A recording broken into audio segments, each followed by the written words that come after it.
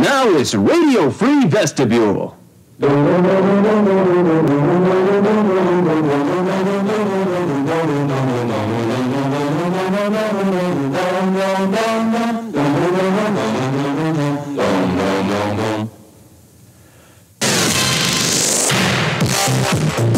Introducing the hottest, hippest, most beautiful bar in the city. The most talked about and the most exclusive bar. The lineup. I've been waiting in line for about three hours. It must be great in there. The A place so extremely hip, you have no chance of ever getting in. A bar so choosy about its clientele, only one person is allowed in per night. I've been waiting every night now for five months. I have to bribe the doorman just to get to stand in line. The best music, the most incredible decor, the most expensive drinks, and the most beautiful person in the city. They always let the same person in every night. He must be really hip. But if that guy ever goes out of town or something, I just know they'll let me in. So just you try and get in. The lineup. We're not even gonna tell you where it is.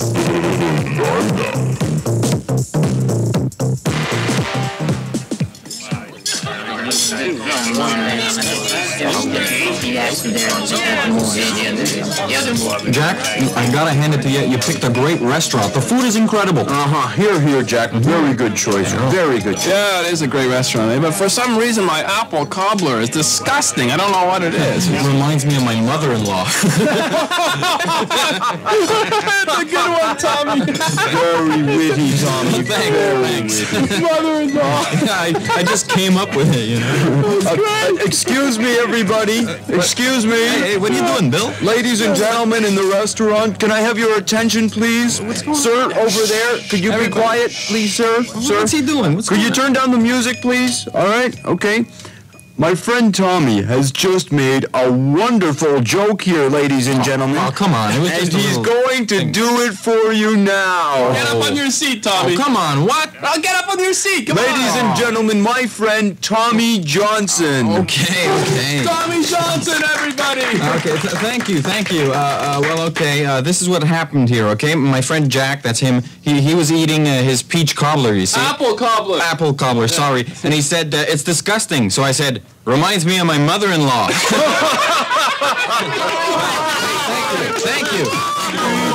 Thank you. Oh, oh, come on. No, I don't have anything prepared. Please, come no. on, dude. Come on. Okay. Well, first of all, I'd like to thank Jack for setting me up so beautifully the way he did. He deserves a hand, huh? Thank you. Okay, and I'd like to thank the cook who made the apple cobbler because without him, this would not have been possible, right? Yes. Oh, and uh, my mother and father also. Are there any questions? Yes, the gentleman in the back there. Oh yeah, I was wondering if you always use food as a metaphor in your jokes. Uh, no, no. You see, it didn't have to be food. It could have been anything. It could have been, uh, boy, this painting is ugly. And I could have said the same thing. You see, any setup will do. It doesn't have to be food. Okay, thanks. I understand. Okay, yes, the lady in the corner there. Yeah, uh, I was wondering what the other gentleman at your table was having for dessert. Um, and was that an influence uh, on your joke? He was having ice cream, and no, it wasn't. And one last question, because I gotta go. Yes, the gentleman over there. I was wondering um, if you have any advice for someone who's just starting out making casual jokes. Yes, okay. Be yourself. Look at life in a positive way, in a fun way, and stay in school, okay? That's all the time I have. Thanks a lot, everybody. Tommy Johnson, ladies and gentlemen. Thank you. Thank you. Well done, Tommy. Very witty. Oh, thanks, thanks. Hey, can we have the bill over here? Thank you. Hey, it's on me, guys, all right? Oh, Thank you. Nice a lot. Hey, $4,695. Whoa, that's too much. Let's see that. No, no, no. I, I was making a joke. See, I, I took out the decimal point there. See, so it's actually forty-six ninety-five. Four thousand. You see, they, they can't all be gems, you know. I liked your mother-in-law joke. Yeah, well, Yeah, can't, that was uh, good. Disgusting. yeah, it's good. Yeah, that was very good. Very good. Well, I think we should be hitting a road, eh, gentlemen? Yeah. Hey, what the road ever do to us that we should hit it? Huh? Right, guys? Huh? Let's go, shall we? We should hit my mother-in-law. That's what we should do. Right. My mother-in-law's like a road. It's, uh, it's getting Yeah, let's get out of here. okay, let's go. Sorry. Tomorrow on America Today. Yesterday, today, and tomorrow. A look at our past, present, and future with host Tuesday Weld. That's tomorrow on America Today. Hey, Gary, what are you doing? What? How come you're wringing out that sponge into your soup bowl? I am? Yeah, you got a sponge there and you're wringing it out into your soup bowl. Oh, yeah. What's wrong with me? I know, it must be Campbell's new soup in a sponge. It is? Yeah, Campbell's has got a new soup. It comes in a sponge, and all you got to do is wring it out, and you got a delicious soup and a super absorbent sponge. My God, that sounds disgusting. It isn't. It's made from 100% clean sponges, and it comes in four delicious flavors tomato, consomme, and one other flavor. That's only three. They do tomato twice. How does that make any sense? I don't know, but it's from Campbell's. Oh, New from Campbell's. Soup in a sponge. Eat up a bowl, then clean up the mess. hmm, delicious soup. And the sponge is so absorbent, it makes me sick. Helpful Handy Hints with Michael Yardley. Hi, I'm Michael Yardley, and here's some helpful handy hints. Let's start with milk cartons. Don't throw them out. You can use milk cartons. You just cut them in half, and you have a great container for nachos or caramel corn. Mmm, tasty caramel corn. Or instead of cutting them, you can draw pictures on the milk cartons and tape them to your walls. It's a nice decoration and it doesn't cost much at all. Now, people are always asking me about leftover chicken bones. Well, here's something. Save your chicken bones and then once you have enough, glue them together into a ball and put the ball under the coffee table. It's great and it's easy to do, really. Here's a good one. We all have empty toothpaste tubes, right? Well, don't throw those out either. Here's what you could do with them. Get an empty margarine container, fill it up halfway with coffee grinds, then put in the empty toothpaste tube, give that to your kids, and let them make up their own games. Great for those rainy afternoons. Now, let's go to the mail.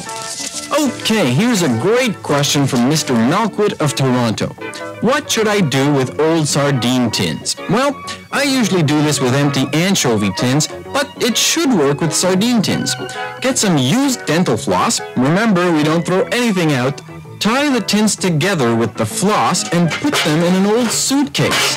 You put the suitcase on the couch or on your favorite chair, and then when you want to sit down, just pick up the suitcase, put it aside, and sit down. You can even write things on the suitcase like Buongiorno, or I wrote Kaleidoscope. Well, that's it for today. See you tomorrow. I'm Michael Yardley. That was Helpful Handy Hints with Michael Yardley.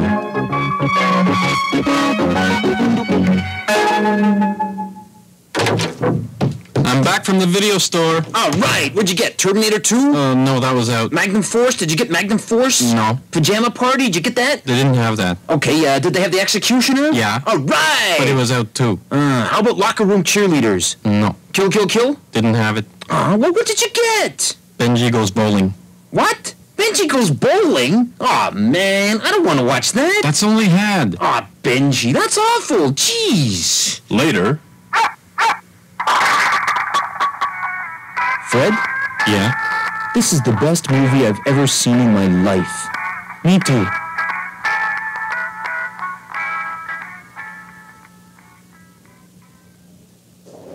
we asked Mrs. Evelyn Johnson if she could write a commercial for Tide. Why, sure I could. My son, Bruno, he likes to play in the mud. And time after time, Tide gets the dirt out. But, but does anyone really care? Care? You hot shots at the Tide Company? Do you care about me? Do you care about who I really am? Well, let me tell you something. I've got feelings. I'm a person with a soul.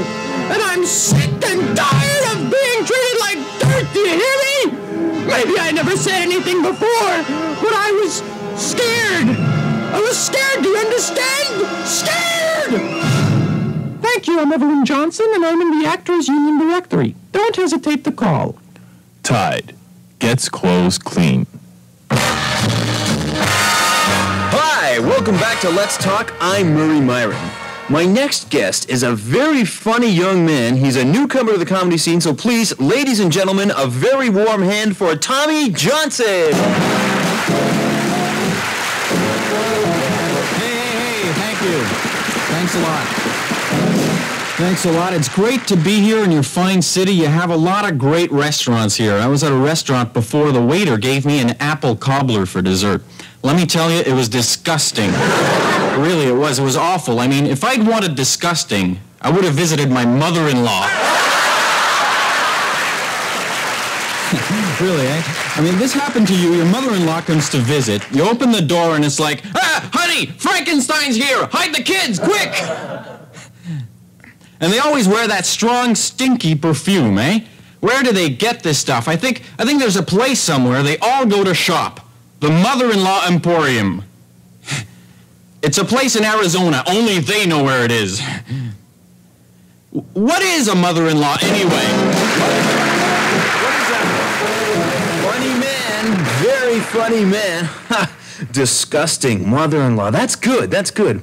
Okay, well, that's all the time we have tonight on uh, Let's Talk with sit Murray. down, Murray? Uh, we gotta get going now. Murray! We'll be seeing you tomorrow can I on come Let's sit Talk. down with you? Bye bye. Murray, hey, my mother-in-law is fat. My my mother-in-law is she's so ugly.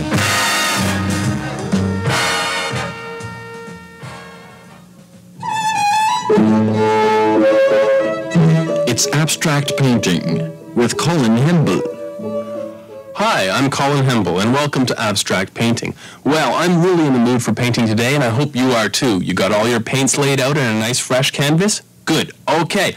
Last week I showed you how to paint anguish, pain, and existential despair, and so now we're going to go a little further and try something a bit tougher the inner light of spirituality and man's relationship to the eternal. Okay? Don't worry. I know it sounds tricky, but you're ready. Trust me.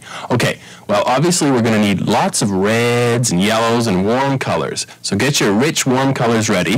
We're going to start with this nice burnt orange. Now, what you do is make small, deliberate lines along the edge here. See? Like that. Okay, now if you did that properly at home, you should have the symbol of man's fear of the unknown, like I have here.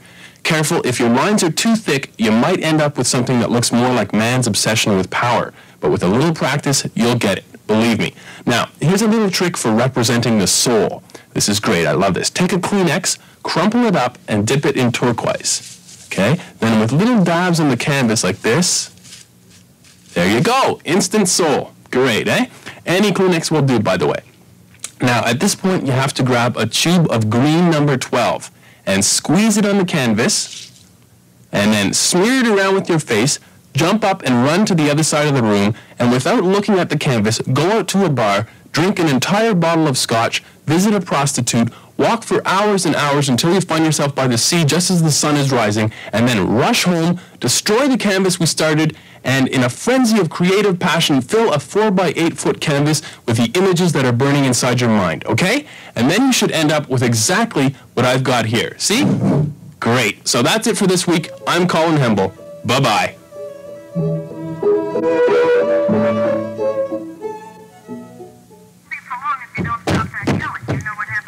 Charlie. Hmm? Oh, hi, Gus. What you doing? Watching TV. Hand me the remote there. Yeah, sure. Here. Thanks. Mm-hmm. There's nothing on. Nah, there's nothing on. Nothing hmm. on. No, I know this movie. You see it? Yeah, actually, there's a funny part in this, actually. Is it comedy? Oh, not really, but there's a. I love funny flicks. Yeah, whatever. There's a funny part coming up.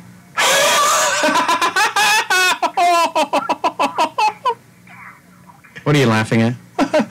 That was funny. What was funny? She picks up the phone. Yeah. That's not funny. No. The funny part is coming up. It's hilarious, okay? Just watch. what are you doing? That was a shot of a building. Yeah, but it's a big building, yeah? So?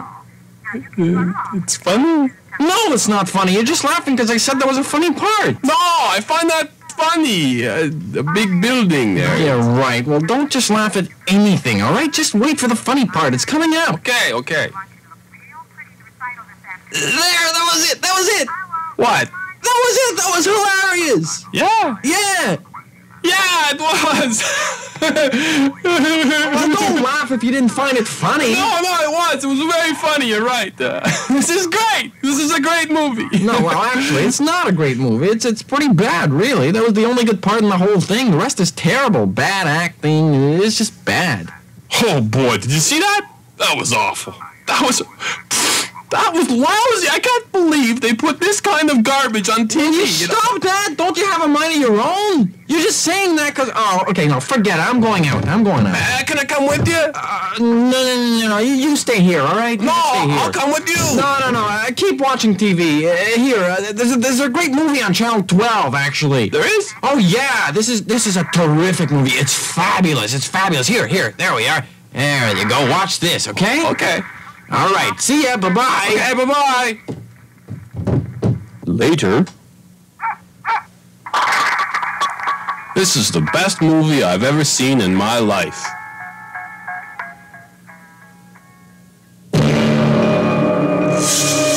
The place is here. The time is now. I'm home, dear. Scanners 4. Everybody's head blows up. Honey, you got any aspirin? I don't feel so. Everybody's head blows up. Everybody's cranium expands at an extremely rapid rate. Everybody's head blows up. You can see little bits of brain hit the walls. Big brains, little brains, hamsters' brains. You can see veins burst open, bits of flesh fly across the room, eyes pop out, brains, brains, brains explode. It's the best movie in the universe. Everybody's head blows up till there's only one guy left. Hello. Scanners 4. Everybody's head blows up. Coming soon to theaters everywhere. Welcome back to the finals of the 31st International Dart Competition on TSN. I'm Zachary Furnell along with Henry Timmons, and we're bringing you this coverage of these quite exciting finals here today. Next up is James McEwen, trying to take the title away from champion Earl Minnow. McEwen, unfortunately, has not been playing as well as he normally does. It seems he's having some problems concentrating. Surprisingly, some of the other players have been having the same problem here today. McEwen seems quite comfortable right now, though, doesn't he, Henry? Yeah, but it seems to come and go. I mean, look at him now. He's shaking again. I don't know what it is. Maybe just nerves. Well, let's hope he gets over this problem. He seems to be relaxing again, actually, right now. He's about to throw. Come on, hit a bullseye. Ah, he didn't even hit the board this time. Indeed, a very poor throw by McEwen, and this will cost him dearly. He must perform better than this just to stay in the competition. I think he's holding the dart wrong. McEwen's getting ready for his second throw. Here he goes. Oh my goodness, the dart has landed in Henry Timmons' forehead. Timmons seems to be in a great deal of pain. McEwen is jumping up and down even though he has definitely lost the competition. He seems very happy for some reason. Well, it's all over. I'm Zachary Furnell. For Henry Timmons, good night. Are you okay, Henry? Hospital.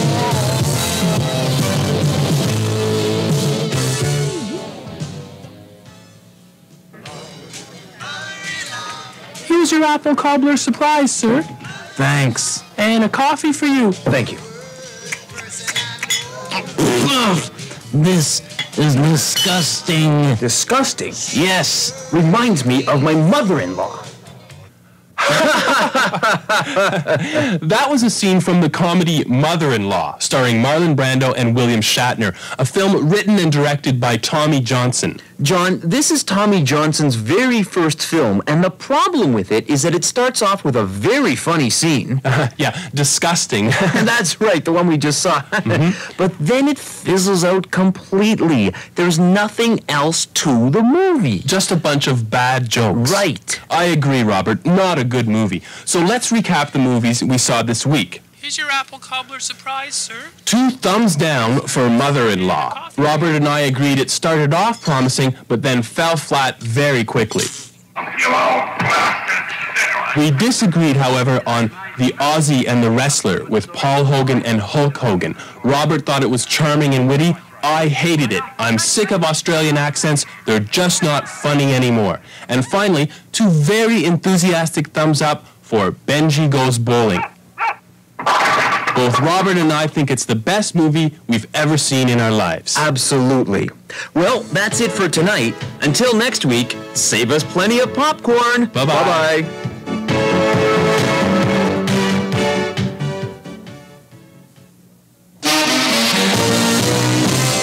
Welcome to Obesity made easy. Yes, obesity is easy. Thanks to a new scientific breakthrough, you can set aside your busy schedule and be that cute, roly-poly person you always knew you could be. I gained 60 pounds in 20 days! That's right, it can work for you. And there's no exercising, no fancy gimmicks. You can eat as much as you want, when you want. It even works while you sleep.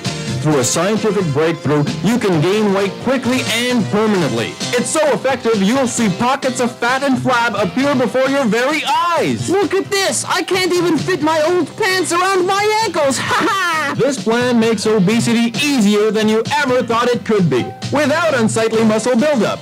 Order now and become a new, bigger, better you. For your obesity made easy kit, just dial 1 555 7289 9446 6382 7652 6596 7109 FAT.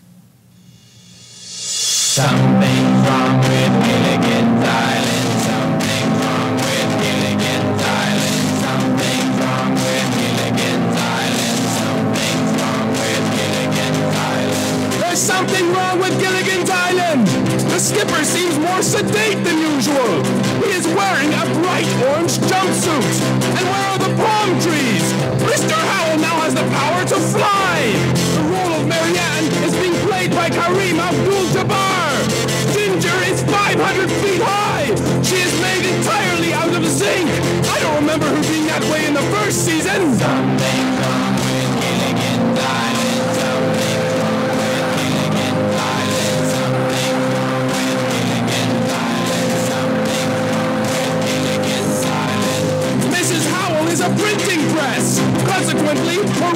Show has been drastically reduced. The professor is inverted. All of his internal organs are exposed. There are seven Gilligans, all of various sizes and shapes. Five of them look exactly like Morley Safer. There's an extra character. His name is Titanium X2A. His sole purpose on the show is to annoy Gilligan number five. Something's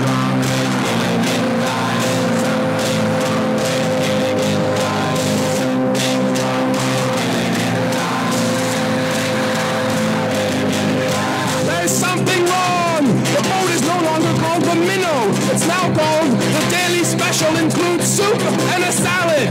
The laugh track has been replaced by a dial tone. And now the credits are rolling. They're hieroglyphics. The theme is being sung by the president of the American Dental Association. An announcer comes on. He says, We are very sorry, but Something's wrong with Gilligan's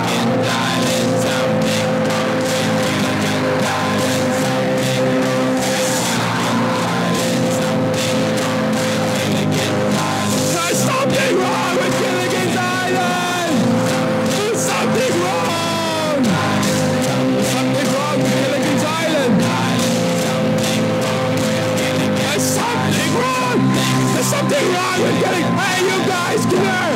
Look! There's something wrong with Gilligan's Island! Call the authorities! Call the authorities!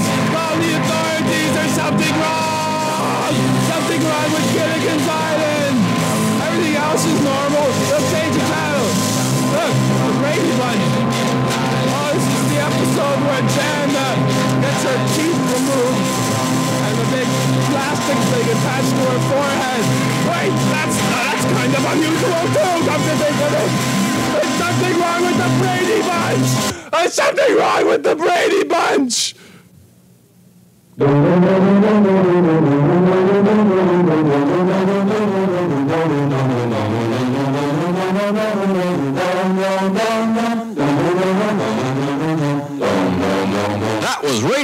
Free Vestibule.